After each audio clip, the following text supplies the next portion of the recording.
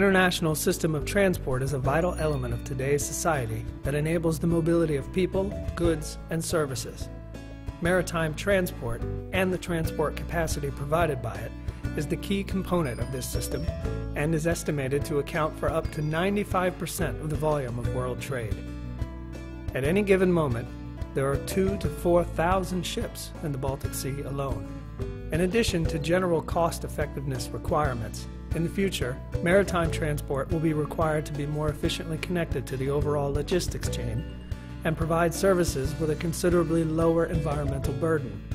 Historically, surveillance of the Baltic Sea has been rigidly compartmentalized, where tasks and duties have often been divided between three main sectors the security sector, the defense sector, and the safety sector. It has not always been the case that these three sectors were willing or able to share valuable intelligence information with one another, but that has gradually begun to change. However, as individual nations began to get a clearer picture of their own Baltic Sea maritime situation through the sharing of information, it became evident that without international cooperation amongst all the Baltic Sea states, they would never be able to see the entire picture. The Baltic Sea Maritime Functionalities Project is a cross-sectoral cooperation that began between Sweden and Finland and is now spreading to all the other nations across the region. Since the implementation of this project, the countries of the Baltic Sea are now able to monitor the traffic in the region like never before. Uh, the organization of the cooperation is uh, organized in the way that uh, one country, one service, one agency is holding the presidency in this particular year. Uh, it develops the so-called International Coordination Center. All the other agencies, they have uh, responsibility for national coordination centers, which are managing the practical cooperation on a daily basis. The idea is to show that we managed to create this kind of national entity and we find out that we are missing some, some kind of common language when we are approaching this, this kind of cooperation the whole project, the uh, Baltic Sea maritime functionalities, it is about bringing together information from the defense sector, from the safety sector, and from the security sector.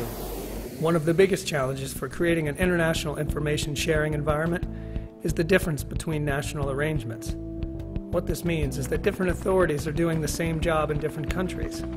The Baltic Sea Maritime Functionalities Project aims to eliminate the complications of sharing delicate information amongst the various national entities. It means that no one owns the information. Some of the old systems are gathering information from there, from there, puts it in, in one box, and then hands information out. This information must be accessible as simply as possible the current economy is dependent on the support and development of a fully functioning maritime transport system that is not only operational and cost efficient, but also environmentally friendly. But, for society's sake, this system must also protect the individuals and the environment from the threats and risks inherent to maritime transport. We are addressing a number of threats.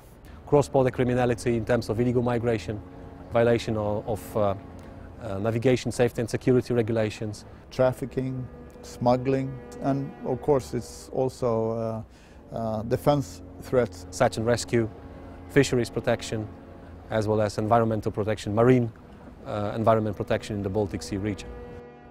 Quality maritime situational awareness is the key output of the maritime information sharing environment. Information management must enable the linkage of individual actors to both the national entity and the international entity of the reference group. Only by the means of well-organized national cooperation between the services agencies responsible, you're able to support an international regional process. So the idea is to, to find the, the way to interlink the already existing national systems to get an effective, efficient, internationally based uh, common information sharing environment. But after reviewing all the facts and figures, we wanted to see if we could find an example of a real case that could reflect the benefits of the Baltic Sea Maritime Functionalities Project. We happened to find such an example while attending a meeting of naval officers and border guard representatives from all around the Baltic Sea states.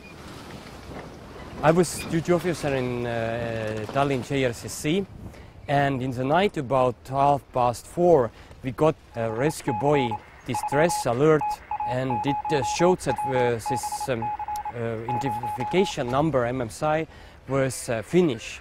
So I called to rescue center Turku in Finland. And the rescue center in Finland had seen the same distress signal. Both the Finnish and Estonian rescue centers attempted to contact the boat, but they both came up empty. They were able to contact the owner of the boat, who was on another fishing ship in the vicinity at the time. He too was unable to contact his crew.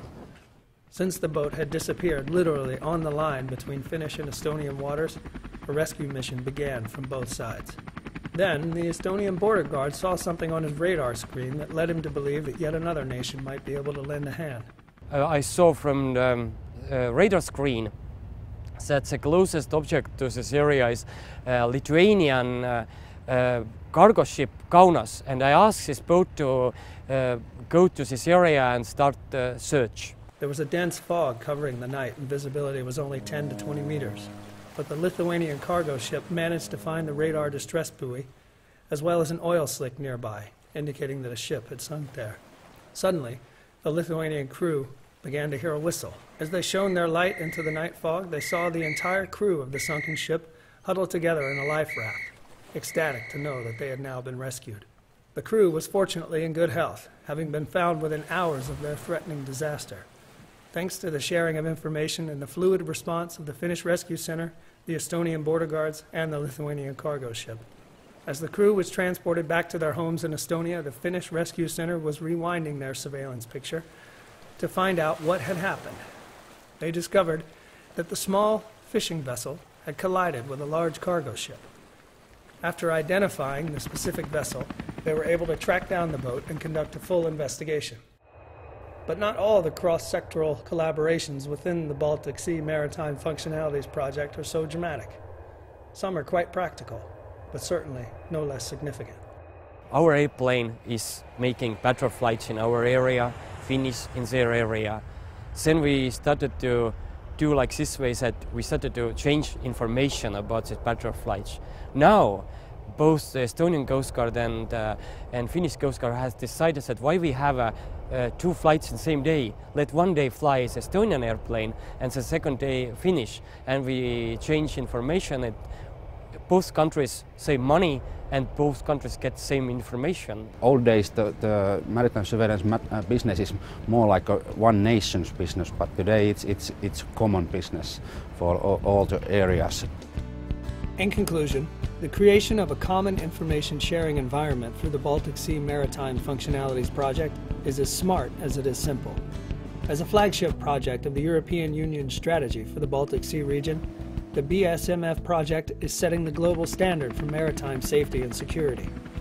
By interlinking pre existing national systems, the nations of the region are now able to monitor the Baltic Sea in ways previously not possible.